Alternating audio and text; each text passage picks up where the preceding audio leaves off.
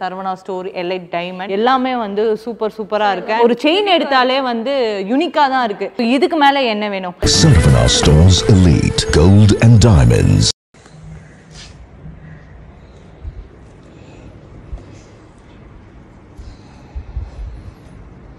அனைவருக்கும் வணக்கம். என் பிரியமானவர்களுக்கும் பத்திரிகை நண்பர்களுக்கும் ஊடக நண்பர்களுக்கும் என்னுடைய பணிவான வணக்கம். மைக்கை தூக்கி எறிந்தார் பார்த்திபன். இவ்வளோ அகங்காரம் தேவையா? அந்த மாதிரி இன்னைக்கு யூடியூப்பில் வைரலாக பரபரப்பாக போயிட்டுருக்கு. ஆக்சுவலாக தூக்கி எறியல. தூக்கி போட்டது மைக்கை. ஆனால் உடைஞ்சது என்னமோ என்னுடைய மனசு. நேற்றுலேருந்து அது சம்மந்தமான குழப்பம் இது சரியா தவறா நம்ம என்ன நடந்துக்கிட்டோம் இது என்ன நடிப்பா அல்லது வைரலாகணுங்கிறதுக்காக ஏதாவது ஏற்பாடா? அந்த மாதிரிலாம் எதுவுமே இல்லை. இதை பற்றி சில பேர் ரொம்ப பாசிட்டிவாக வெறும் ஒரு ஒரு சிங்கிள் ரிலீஸ் செய்யப்பட்டது அப்படின்னு இல்லாமல் மைக்கை தூக்கி எறிந்தார் பார்த்திபனோன்னா அது பரபரப்பாக இருக்குது அதனால் நம்மளை வேறு ஏதோ புத்திசாலின்னு நினைக்கிறனால இது வேணும்னு செஞ்சோமா? அப்படிலாம். நான் எப்படிப்பட்டவனாக இருக்கேன்னா இந்த எல்லா வேலையும் என் தலையில் தூக்கி போட்டுக்கிட்டு அதை வந்து ரொம்ப ஹண்ட்ரட் பர்சன்ட் பண்ணால் எப்படி இருக்கும்? அந்த மாதிரி. கிட்டத்தட்ட ரெண்டு மாதம் ஆச்சு. தூங்கி இந்த ரெண்டு மூணு நாளாக சுத்தமாக தூக்கம் இல்லை. அந்த டேரக்டர்ஸ் டிஸ்கஷன் முடிஞ்ச உடனே அந்த சேர் எடுத்து போடணும் அப்படின்னா அந்த இடத்துல சேரை போடுறதுக்கு ஆளில் நான் அப்போ தயங்குறதில்ல. ஓடி போய் நானே சேர் எடுத்து போடுவேன் அதெல்லாம் பண்ணுவேன். அதே மாதிரி ரஹ்மான் சார் வந்து இருட்டில் அனில் ஸ்ரீனிவாசனுடைய மியூசிக் வந்து நேற்று ரொம்ப சிறப்பாக ஆரம்பிச்சது. அதே மாதிரி என்னுடைய கருப்பழனிப்பனுடைய அபரிமிதமான ஸ்பான்டினிட்டி அந்த ஷோ வந்து அப்படியே அதெல்லாம் ரொம்ப ஹைலைட்டாக போயிட்டு இருந்தது. அவர் படிக்கட்டு ஏறி வர இடத்துல இருந்த அந்த கேபிள் வந்து தடுமாறிக்கிட்டு மாதிரி அவர் விழுந்துடக்கூடாதுங்கிறதுக்காக அந்த கேபிள் கூட டேப் போடுங்கன்னு சொல்லிட்டு போட்டு இவ்வளவு சர்வ ஜாக்கிரதையாக ரஹ்மான் சார் வந்து இந்த படத்துக்கு மிகப்பெரிய ஒரு ப்ளஸ் பாயிண்ட் அவருக்கு எதிர்க்க சொல்லும்போது சொன்னதை யார் எப்படி எடுத்துட்டாங்கன்னு தெரியல. என்ன தைரியத்தில் இப்படி ஒரு படம் எடுத்தீங்க அப்படின்னு கேட்டால் நீங்கள் இருக்க தைரியத்தில். அப்படின்னா நான் வந்து ஒத்த சிறப்பு பண்ணும்போது கேமராமேன் ராம்ஜி கிட்ட போய் அந்த கதையை சொன்னேன் உடனே ஆரம்பிக்கலாங்க அப்படின்னு சொன்னார். அதுதான் உத்வேகம். அதுக்கு வந்து ஃபைனான்ஸே இல்லை. அதே மாதிரி இந்த படத்துக்கு ரஹ்மான் சார் எஸ்ன்னொன்னா அந்த பச்சை கொடி தான் வந்து எனக்கு ஃபைனான்ஸாக இருந்தது. மற்றபடி இதுக்கு பின்னாடி ஒரு பொருள் வச்சுக்கிட்டு நம்ம படம் பண்ணலான்னு ஆசைப்பட்டதில்ல. ரஹ்மான் சார் கிடைக்கிறாரு. அது எவ்வளோ பெரிய விஷயம்? ஒரு இருபது வருஷம் அரசு மரத்தை சுற்றி வந்து நமக்கு ஒரு குழந்தை உருவானா எப்படி இருக்கும்? அந்த மாதிரியான ஒரு தாய்மையின் சந்தோஷம் அதில் இருந்தது. அதனால் அவரை வந்து நான் ரொம்ப பெருசாக அவரும் இந்த படத்தை ரொம்ப பெருசாக பார்க்குறாரு. ரொம்ப ரொம்ப நுணுக்கமான இசை. இந்த படத்தோட ஆரம்பத்தில் காயம் என் உன் கண் முன் மாயம்னு ஒரு பாட்டு அந்த பாட்டில் ஏற்படுத்துகிற ஒரு மெஸ்மரைசிங் மியூசிக் இந்த மாதிரி நான் நிறைய சந்தோஷப்படுறதுக்கு ஏகப்பட்டது இருக்குது இந்த படத்தில். அதை கொண்டாடுறதுக்கு. இந்த சிங்கிள் ரிலீஸுக்கு இது வரைக்கும் ரஹ்மான் சார் வந்ததே கிடையாது. சிங்கிள் ரிலீஸுன்றது ஒரு சிங்கிள் டீ சாப்பிட்டுக்கிட்டு அப்படி இங்கே தட்டினோம்னா எல்லா சேனல்லையும் வந்துடும் அதை வந்து நான் பெருத்த பொருட்செலவில் இதுக்கு பின்னாடி ஸ்பான்சர்ஸே கிடையாது. நல்லியோட விளம்பரம் எனக்கு ஒன்று பிடிக்கும். எல்லாரும் இவ்வளோ பர்சன்ட் டிஸ்கவுண்ட் சொல்லும்போது எழுபத்தைந்து வருடங்களாக நோ டிஸ்கவுண்ட் அப்படின்னு அவங்க விளம்பரம் விளம்பரம் கொடுப்பாங்க.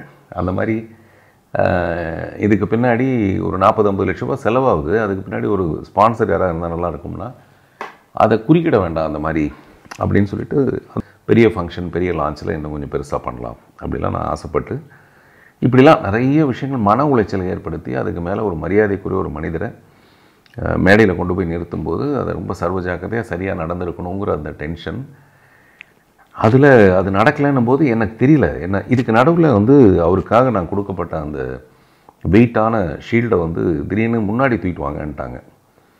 அப்போ டெஃபினட்டாக அதை வந்து அவர் பிடிக்க முடியாது. அது ஒரு ஹெவி வெயிட்டு அந்த வெயிட்டை நான் தூக்கினதில் என்னாச்சுன்னா இந்த இடத்துல ஒரு ஷாக் மாதிரி. இந்த ஷாக் வந்து ஒரு நிமிஷத்துக்கு அந்த வீடியோவில் யாராவது பார்த்தீங்கன்னா தெரியும். தட தட தடத்துன்னு ஆடுது. அப்படியே வலது காலோட பாதத்தில் அந்த ஷாக்கு உச்சந்தலைக்கு அந்த ஷாக்கு இதெல்லாம் ஒரு மொமெண்ட்டில் அப்படி நடக்குது. நான் எங்கேயாவது தவறி அதை விட்டுருந்தேன் உடஞ்சிருந்தேன்னா என்ன ஆகுறதுன்ற மாதிரியான ஒரு பயம் படபடப்பு இது எல்லாம் சேர்ந்து என்னை அது வேற ஒரு ஆளை உள்ள ஒரு பேய் பூந்த மாதிரி எனக்கு ஆயிடுச்சு. மற்றபடி நான் இந்த மாதிரிலாம் எமோஷன் ஆகிறதுங்கிறது உள்ளுக்குள்ளே ஆகும் பட் ஒரு மேடைன்னு போது அதுக்குன்னு சில நாகரிகங்கள் இருக்குது அதை தாண்டிடக்கூடாது தவறிடக்கூடாதுன்னு நினச்சி அது மாரி அவ்வளோ பெரிய மனிதர் அவர் என்னவா நினைப்பார்? அப்படியே அவருடைய அந்த ஷாக்கெல்லாம் நான் அப்புறம் யூடியூப்பில் பார்க்குறேன். ஒரு துணுக்குடுறது அதெல்லாம். அப்புறம் அதை மீறி அவர் ரொம்ப சந்தோஷமாக தான் அதே மாதிரி ஒரு அவர் ஒரு ஒரு சின்ன பையன் மாதிரி ஒரு ஓரமாக நின்றுக்கிட்டு அந்த மாயவா சாங்கை வந்து அவர் ரசித்தது அதெல்லாம் அப்படியே பார்த்துட்டே இருந்தேன். அவர் இந்த படத்துக்காக காசு பணம் இதை பற்றிலாம் எதையுமே கவலைப்படாமல் என் படத்துக்கு இந்த படம் என்னங்கிறது மட்டும்தான் பார்த்தாரு. என்னுடைய இருபது வருட நட்பை பார்த்தாரு. அந்த நேர்மையை மட்டும்தான் அவர் ரசித்தார் ஸோ அப்படி தான் இந்த படம் நடந்தது. இதை பற்றி நான் பேசணும்னு ஆசைப்பட்டேன். பட் முதல் தடவையாக என்னால் இந்த மைக்கு போட்டது அதனால் வெளியில் மற்றவங்களுக்கு என்ன நடந்ததோ தெரியல. எனக்குள்ளே ஏகப்பட்ட டென்ஷன் அப்புறம் அவர் எப்போவுமே நிறைய பேசுகிற மனிதர் கிடையாது. அவர் வந்து இந்த நேரத்தையும் இன்னொரு மியூசிக்காக மாற்றுவார் இப்போ நாங்கள்லாம் வந்து என்ன பண்ணுறோம்னா இந்த தொண்ணூறு நாள் ஷூட்டிங்கில் ஒரு நாள் ஷூட்டிங் நல்லா நடக்கணுனாலும் அன்றைக்கி நைட்டெல்லாம் பயங்கர வருத்தம். நல்லா நடந்தாலும் அன்றைக்கெல்லாம் கொண்டாட்டம். இப்படி எல்லாமே எல்லாத்துக்கும் நமக்கு வந்து கொண்டாடுவோம் அல்லது வருத்தமாக இருந்தாலும் அந்த வருத்தத்தை வந்து ஏதோ ஒரு வகையில் பத்து பேர் சேர்ந்து உட்காந்து பதிவு பண்ணிக்குவோம் இப்படி தான் நாங்கள் ஆனால் அவர் அப்படி கிடையாது. அடுத்த மூமெண்ட் அதை விட்டுட்டு வேற ஒரு பெரிய வேலை பொன்னியின் செல்வனோட மிகப்பெரிய வேலை அந்த மாதிரி பெரிய வேலைகளுக்குள்ளே போகிற மனிதர் அவர் வந்து இவ்வளோ வேலைகளுக்கு நடுவில் நமக்கு வந்ததே பெரிய கௌரவம் அப்படிலாம் ரொம்ப சின்சியராக நினச்சிட்ருக்க எனக்கு நைட்டு நடந்த விஷயத்துக்காக நான் உடனே ரஹ்மான் சாருக்கு மிகப்பெரிய மன்னிப்பு கேட்டு ஒரு வாய்ஸ் மெசேஜ் அனுப்பிச்சேன். ரோபோ சங்கருக்கு வந்து வந்து மன்னிப்பு கேட்குறேன் சார் மன்னிச்சிருங்க. அது என்னென்னா அவ்வளவு பெரிய ஒரு சங்கடத்தை எனக்குள்ளே ஏற்படுத்திச்சு அது. அப்புறம் இதெல்லாம் நடந்து காலையில் இதை பற்றி பாசிட்டிவான நெகட்டிவான நிறைய விஷயங்கள்.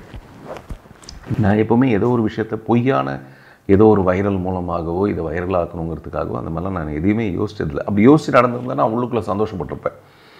அப்படியும் அது நடக்கலை. ஆனால் ஏதோ நடந்தது. ஆனால் இந்த படம் இரவினர்கள் அங்கே மேடையில் பேசின பெருந்தகைகள் இயக்குனர்கள் எல்லாருமே அதை பற்றி அதிசயித்து சொன்னது. உலக லெவலில் இந்த படம் நிச்சயமாக எவ்வளவு தன்னடக்கமாக சொன்னாலும் இது ஒரு முதல் முயற்சி. இந்த முயற்சி ஒரு ஸ்லோ பேஸ்டில் இது நான் வந்து ஒரு எக்ஸ்பிரிமெண்டலாக ஒரு படம் பண்ணுறேன் அதனால் இந்த படத்தோட ஸ்டைல் இப்படி தான் இருக்கும் அப்படின்லாம் இல்லாமல் இந்த படம் வந்து ரொம்ப எமோஷ்னலாக கனெக்ட் ஆகக்கூடிய ஒரு படம். கிட்டத்தட்ட நூறு நிமிஷம் ஓடக்கூடிய இந்த படம். அப்புறம் இந்த படம் எப்படி எடுக்கப்பட்டது? முதல்ல வந்து சிங்கிள் ஷாட்னா என்ன? நான் லீனியர்னா என்ன? திரைத்துறை சார்ந்தவங்களுக்கே இது வந்து ரொம்ப சொல்ல வேண்டியதுக்கான ஒரு விஷயமா இருக்கும்போது இதை பற்றின ஒரு detailing making making of the film எடுத்திருக்கோம். அந்த படம் வந்து ஒரு மிகப்பெரிய என்ன சொல்கிறது ஒரு இம்பேக்டை ஏற்படுத்துது. பிகாஸ் அந்த படம் நடிப்பு கிடையாது. முழுக்க முழுக்க அந்த தொண்ணூறு நாள் நானும் என்னுடைய குழுவும் ஒரு முயற்சி தோற்று போகும்போது தோண்டு போகிறதும் கடைசியாக ஒரு நாள் அது ஜெயிக்கும் போது ஏற்பட்ட அந்த சந்தோஷமும் அதெல்லாம் ரொம்ப அழகான அது ஒரு தனி படம் மாதிரி இருக்குது அந்த படத்தை நீங்கள் பார்த்துட்டிங்கன்னா உங்களுக்கு தெரியும் இந்த இரவு நிழல்ன்றது எப்படிப்பட்ட ஒரு படம். அந்த ஒரே ஷாட் ஒரே ஷாட்னா நிறைய பேருக்கு அந்த ஒரே ஷாட்னா என்னங்கிறது தெரியல. அது அஞ்சு நிமிஷம் கூட எடுக்க முடியாது. அந்த படத்தை தான் நான் நூறு நிமிஷம் எடுத்திருக்கேன். இவ்வளோ பெரிய டெக்னீஷியன்ஸ் நடிகர் நடிகைகளோட உதவியோட. ஸோ இதை வந்து நான் முதல்ல உங்களுக்கு இந்த மேக்கிங் ஃபில்மை வந்து காட்டுறதா? அல்லது படத்தை போட்டு காமிச்சிட்டு அதுக்கப்புறமேல இந்த டாக்குமெண்ட்ரியை போடுறதா? இது மட்டும்தான் என்னுடைய வே வேலையாக இருந்தது. இப்போவும் அது சம்மந்தமான ஒரு டிஸ்கஷன் இருக்குது இல்லை முதல்ல அந்த டாக்குமெண்ட்ரியை வந்து யூடியூப்பில் போட்டு அதை பிரபலப்படுத்திட்டு அதுக்கப்புறம் அந்த படத்தை ரிலீஸ் பண்ணுறதா அந்த மாதிரி. நேற்றுலேருந்து ஒரு நல்ல சிம்டம் வந்து என்னென்னா இந்த படம் என்ன விலைங்க அப்படின்னு கேட்குற ஒரு மாற்றம் ஏற்பட்டிருக்கு. இந்த படத்தோட ஷூட்டிங் முடிகிறப்போ படப்பிடிப்பு முடிகிறப்போ ஒரு பதினஞ்சு கோடியும் போஸ்ட் ப்ரொடக்ஷன் முடியும் போது இருபத்தஞ்சி இருபத்தோரு கோடியும் மான ஒரு பட்ஜெட்டில் மிகப்பெரிய செலவில் இந்த படம் நடந்து முடிஞ்சிருக்கு. இந்த படத்தை வந்து நான் சும்மா ஏதோ ஒரு காரணத்துக்காக நாலு பேர் பாராட்டுறது மட்டுமே மீறி ஜனரஞ்சகமாக ரசிகர்கள் ரசிக்கக்கூடிய எனக்கு தெரிஞ்சு இந்த மாதிரி தான் நம்மளுடைய ரசனையும் மாறுது. இன்றைக்கி வந்து நம்ம எந்த மொழியிலேருந்து படம் வந்தாலும் அந்த படம் நல்லா இருந்தால் நம்மளை கவர்ற மாதிரி இருந்ததுன்னா அந்த படத்தை நம்ம அங்கீகரிக்கிறோம். அந்த மாதிரி இந்த மாதிரி படங்களை அங்கீகரிக்கும் போது டெஃபினட்டாக அது சினிமாவுக்கான அடுத்த கட்ட வளர்ச்சியாக இருக்குங்கிறது மிக தன்னடக்கமான ஒரு கலைஞனாக சொல்லிக்க வேண்டிய ஒரு கட்டாயத்தில் இருக்கேன். இப்போ ஜூன் அஞ்சு இந்த படத்தோட ஆடியோ லான்ச் அந்த ஆடியோ லான்ச்சு வந்து செலிப்ரேஷன் ஃபார் ரஹ்மான் சார் அவருடைய ஜேர்னி ஹாப்பியான அந்த மியூசிக் ஜேர்னி அதை நம்ம எவ்வளோ தூரம் அவர் மகிழ்விச்சிருக்காரு. இதை சொல்கிறதுக்கான ஒரு நிகழ்ச்சி நேரு உள் விளையாட்டு அரங்கில் நடக்க போகுது. அகைன் மறுபடியும் அதுக்கான இன்விடேஷன் நான் ஒன்று ரெடி பண்ணியிருக்கேன். இதுதான் அந்த இன்விடேஷன் இதை நான் நிறைய பேர்ட்ட காட்டும்போது இந்த இன்விடேஷனில் என்ன இருக்குது இன்னும் பிரிண்ட் ஆகலையா? அப்படின்லாம் கேட்குறாங்க அதில் ஒரு சின்ன சந்தோஷம். நான் வந்து இதில் உள்ள பூந்து நிறைய வேலை செஞ்சுருக்கேன். இங்கே பாருங்கள் இதுக்குள்ளே எழுத்து இருக்கும். நான் அதுக்குள்ளே அவ்வளோ யோசிக்கிறேன். இதை வந்து நீங்கள் டேபிளில் வச்சிங்கன்னா கூட ஒரு ஆர்னமெண்டலாக இருக்கும் அது. ஸோ சரி இதை பற்றின பெருமை நம்ம அப்புறம் பேசலாம். என்னுடைய மன கஷ்டத்தெல்லாம் அப்படியே மாற்றிக்கிட்டு இந்த காலையில் எழுந்துச்சு அந்த இன்விடேஷன் பார்த்துட்டு அஞ்சாந்தேதி நடக்க போகிற அந்த நிகழ்வு எவ்வளோ சிறப்பாக பண்ணலாம். சில தவறுகள் நடந்துருது. அது பின்னோக்கி போய் டைம் மிஷினில் அதை கரெக்ட் பண்ண முடியறதில்ல.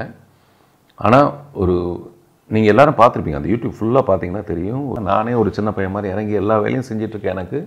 அந்த கோபங்கிறது நியாயமாக பதிவான ஒன்று தான் அதை நான் நியாயப்படுத்த விரும்பலை. அந்த தவறுக்காக எல்லாத்தையும் நான் மன்னிப்பு கேட்டுக்கிறேன். ஸோ ஜூன் அஞ்சு இரவு நிழல் த வேர்ல்ட்ஸ் ஃபஸ்ட் நான் இண்டியர் சிங்கிள் ஷார்ட் ஃபிலிம் சொல்லும்போதே மனசுக்குள்ளே ஒரு பயங்கர சந்தோஷம் வருது. நீங்கள் கூகுள் பண்ணி பார்த்தீங்கன்னா தெரியும் இது சத்தியம். சாத்தியமாகிறது நீங்கள் படம் பாருங்கள் நன்றி.